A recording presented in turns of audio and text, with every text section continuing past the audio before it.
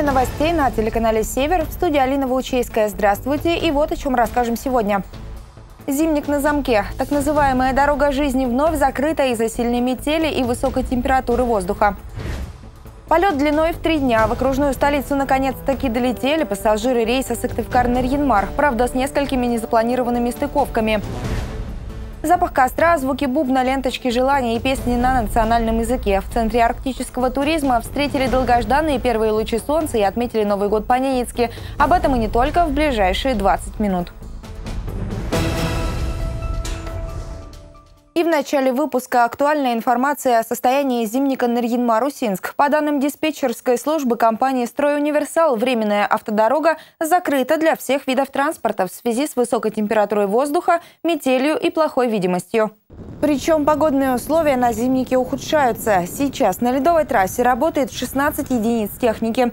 Тем не менее, автомобилистов призывают не рисковать своей жизнью и жизнью пассажиров и не отправляться в путь, пока бушует непогода. Об открытии проезда по зимнику будет сообщено дополнительно в окружных СМИ. Также подробную информацию о состоянии зимника можно узнать по телефону диспетчерской общества с ограниченной ответственностью «Строй Универсал» 8 911 067 72 33. В случае чрезвычайных ситуаций МЧС рекомендует звонить по телефону доверия 499 99 или на единый телефон экстренных служб 112 мобильных телефонов.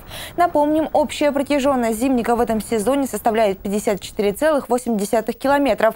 Государственный контракт на выполнение работ по устройству и содержанию искусственного дорожного сооружения Нарьин-Марусинск общей стоимостью порядка 83,5 миллионов рублей по итогам торгов был заключен с окружной компанией «Строй Универсал». На временной дороге организован дорожно-ремонтный пункт 2 КПП, установлены информационные щиты. Из-за плохих погодных условий на протяжении нескольких дней в окружную столицу и населенные пункты округа сложно было попасть и авиатранспортом. Например, пассажиры рейса Сыктывкар-Нарьинмар добирались в пункт назначения три дня.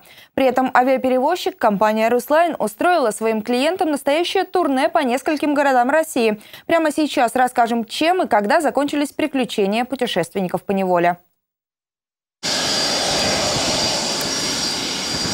Которой попытки этот рейс долетел таки до пункта назначения, сбились со счету уже даже сами пассажиры. На лицах прибывших в Нарьинмар улыбки. Со вздохом облегчения они забирают свой багаж и отправляются домой.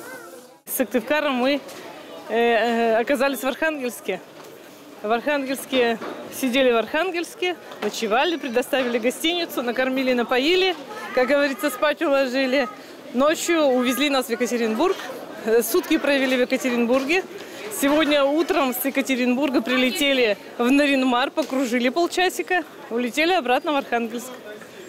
Там часик побыли в аэропорту, и вот благополучно появились мы дома здесь через три дня. Началась эта эпопея рейса 7Р-259 Сыктывкар на Ленмарк 8 числа, то бишь позавчера, в 7 часов 35 минут утра.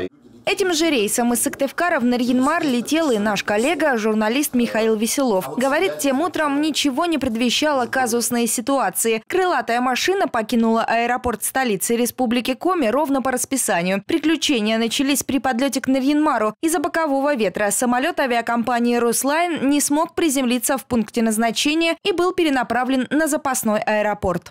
Самолет отправили в Архангельск. И вот что-то тогда мне подсказало, интуиция, наверное, что этим все не завершится. Нас проинформировали, что далее самолет полетит в город Екатеринбург, чтобы затем из Екатеринбурга вернуться в Маринмар. Э, длилось это очень долго.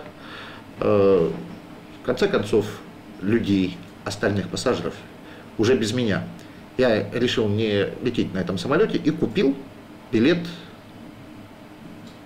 на рейс другой авиакомпании.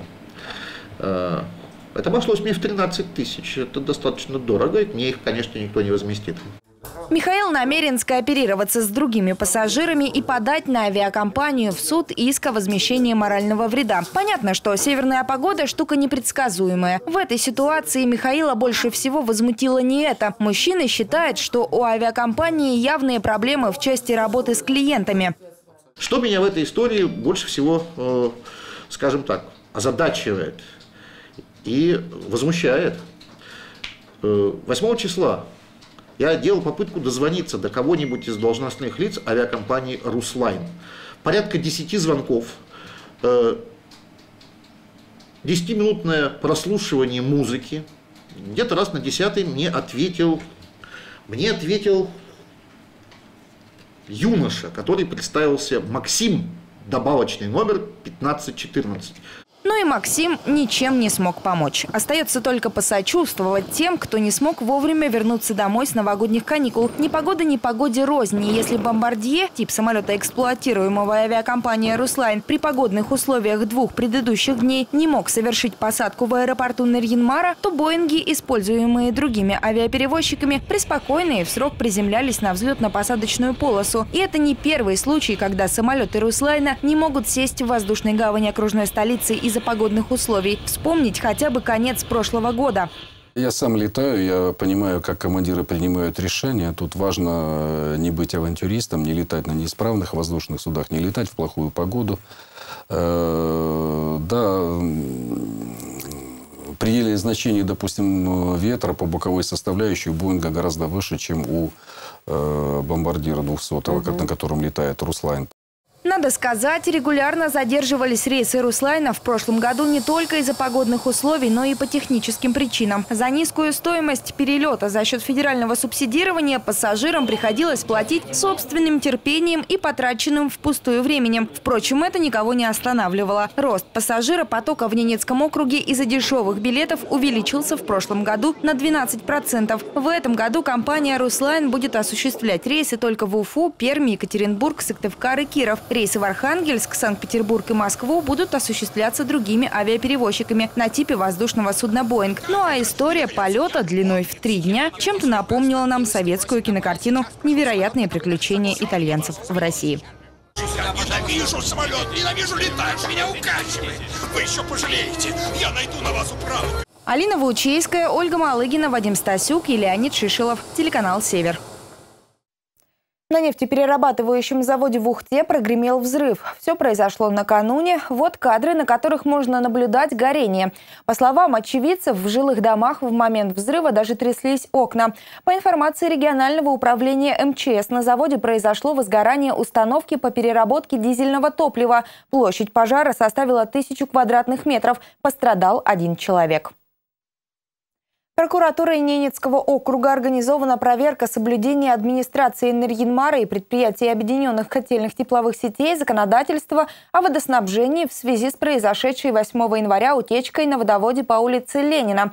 Как пояснили в ведомстве, в соответствии с федеральным законом о водоснабжении и водоотведении, организация, осуществляющая данные услуги, вправе временно прекратить или ограничить водоснабжение из-за возникновения аварии или устранения последствий аварий на централизованных системах водоснабжения. Также, согласно правилам предоставления коммунальных услуг, допустимая продолжительность перерыва подачи холодной воды составляет 4 часа единовременно. При этом за каждый час превышения допустимой продолжительности перерыва подачи холодной холодной воды, исчисленной суммарно за расчетный период, в котором произошло превышение, размер платы за коммунальную услугу снижается на 0,15% размера платы, определенного за такой расчетный период. В связи с произошедшей 8 января текущего года э, утечкой на водоводе по улице Ленина, а также длительным отключением жителей города от холодного и горячего водоснабжения, э, прокуратура округа организована проверка, в рамках которой была дана оценка полноте и своевременности принятых мер, направленных на устранение причин утечки, информированию жителей города о прекращении водоснабжения, ну и, соответственно, э, модернизации э, систем э, водоснабжения городских. По результатам проверки и при наличии оснований будут приняты меры прокурорского реагирования. Власти Ненецкого округа планируют привлечь федеральные средства на ликвидацию накопленного экологического вреда в Амдерме. Соответствующая проектная документация разработана Государственным океанографическим институтом имени Зубова и принята Департаментом природных ресурсов, экологии и АПК Ненецкого округа. С организацией по итогам торгов был заключен государственный контракт на сумму 6,3 миллионов рублей. Подрядчиком были проведены натурные исследования территории Амдермы, одноименного озера и акватории реки Амдермы Терминки, на основе которых выявлены объекты накопленного вреда окружающей среде. По каждому из объектов были проведены инженерные изыскания и разработан проект по их ликвидации.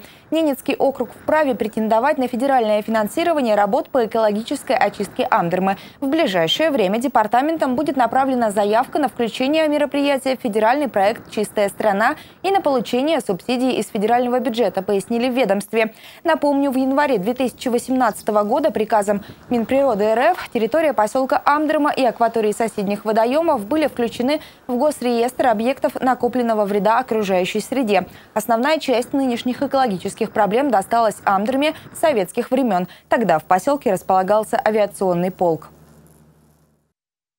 Убойная кампания в Ненецком округе выполнена на 95%. По информации Департамента природных ресурсов, экологии и агропромышленного комплекса, оленеводческие хозяйства региона и частники направили около 37 тысяч голов северных оленей и заготовили более тысячи тонн мяса целом это составляет около 95% от плана. На сегодняшний день компания продолжается в двух оленеводческих хозяйствах – СПК «Рассвет Севера» и «Индиго».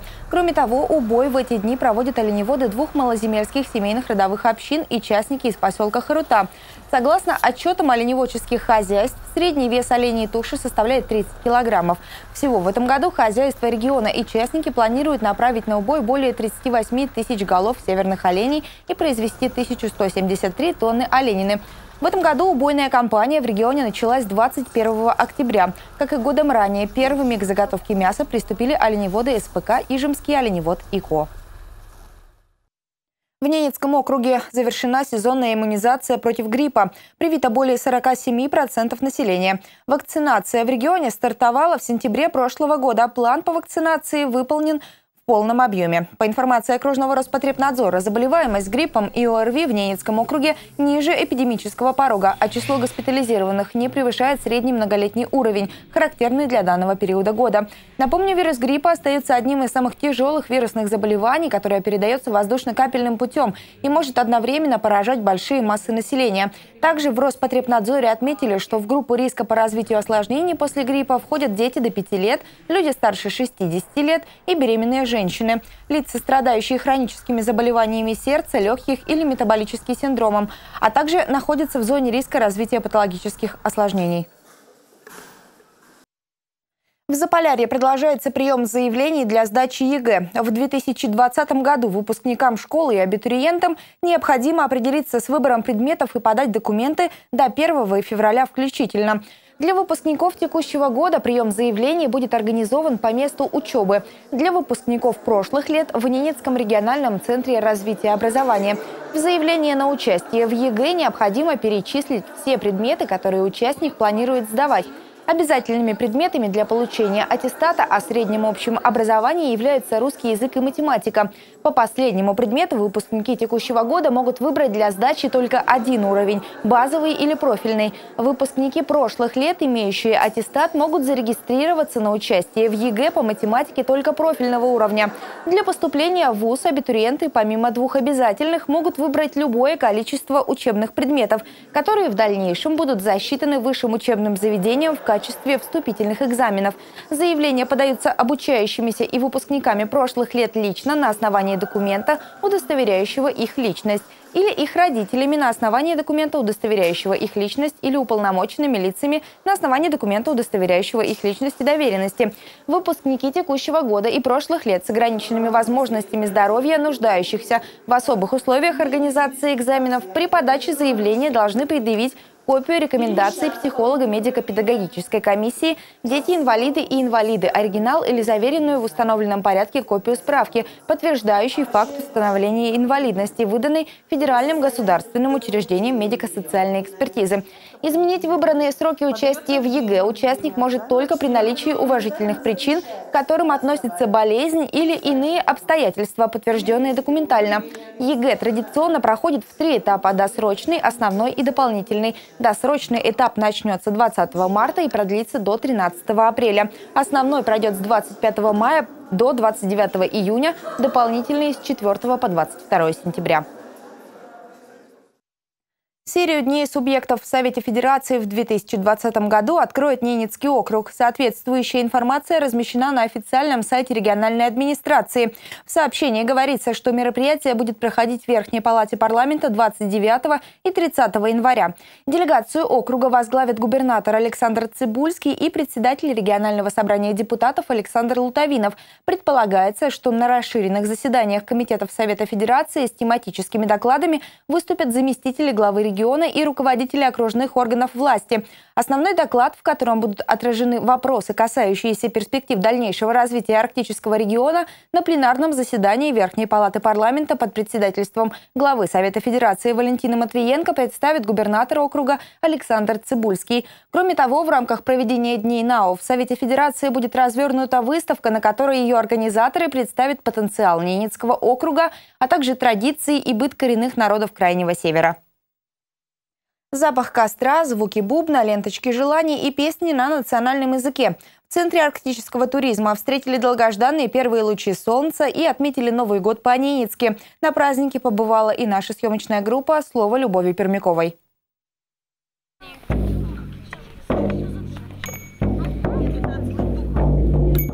Встреча Нового года по-ненецки оказалась волшебной. Гости праздника загадали желания и повязали ленточки на священном дереве. Кроме того, участников мероприятия угощали ненецким бульоном из оленины. Самым магическим моментом стало зажжение большого костра под звуки бубна.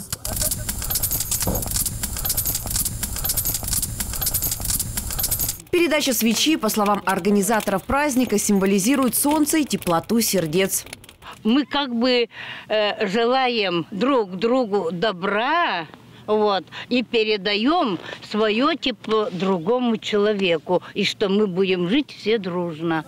Кроме того, все желающие смогли покататься на ватрушках, сфотографироваться с оленями. Для маленьких гостей был подготовлен аквагрим и проведен мастер-класс по изготовлению символа года крысы. Кульминацией праздника стала встреча первых лучей солнца на самой высокой сопке на территории турцентра. Обычно, конечно, уже оно, если вышло, то мы его приветствуем, солнце, радуемся. Наконец-то солнышко вышло, сидит на горизонте, и уже теперь оно э, потихоньку начнет подниматься. Начнет подниматься, но это уже Новый год – новые желания, новая жизнь, можно сказать, начинается. Любовь Пермякова, Владислав Носкин, телеканал «Север».